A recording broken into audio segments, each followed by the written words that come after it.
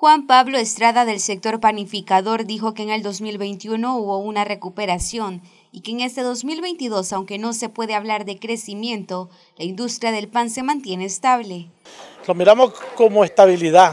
El crecimiento está un poco difícil, ¿verdad? Situación de la crisis de materias primas en el mundo, la situación que se ha dado eh, fuera del contexto, la pandemia, que todavía fue parte del coletazo del 2022 pero yo creo que ya en el mes de agosto que está culminando y ya los meses de septiembre y octubre sí vamos a tener el último trimestre, cuatrimestre, sí tenemos que tener un crecimiento.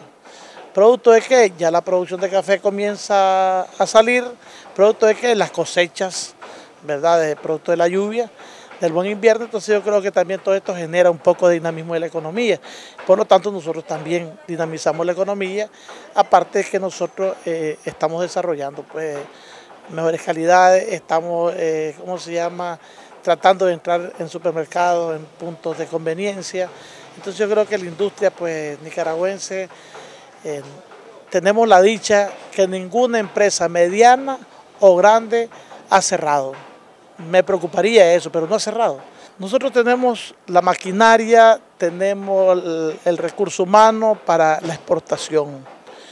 ¿Cuál es el problema que tenemos nosotros? Que es una materia aplazada que no sé por qué no lo han hecho algunos empresarios que tienen la capacidad.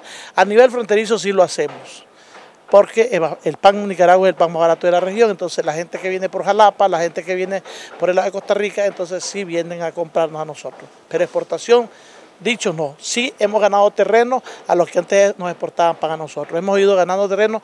Hoy por hoy el pan de molde, el pan simple, eh, la industria nacional está produciendo el 90% prácticamente. Estrada agregó que lo que les preocupa es el poco acceso de financiamiento de parte de la banca privada.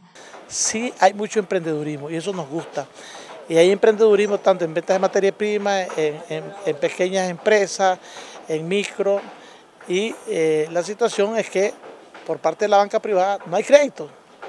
El gobierno sí tiene un proyecto ¿verdad? De, financiar a, chiquitos y eso nos, nos, en buen momento pues le damos el crédito que el proyecto de usura cero, el proyecto que tienen de un fondo ahí ¿verdad? Para, para micro y tal vez medianos empresarios, pero lo que es la banca privada no tenemos respuesta desde hace cuatro años.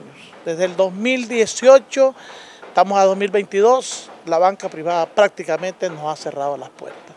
Y es preocupante porque a nivel centroamericano nosotros seguimos teniendo el crédito para poder eh, darle materia prima a los, panaderos, pero lo que es para comprar un horno, para comprar un vehículo, una moto, eh, eso está prácticamente cerrado. Para Noticias 12, Gabriela Solórzano.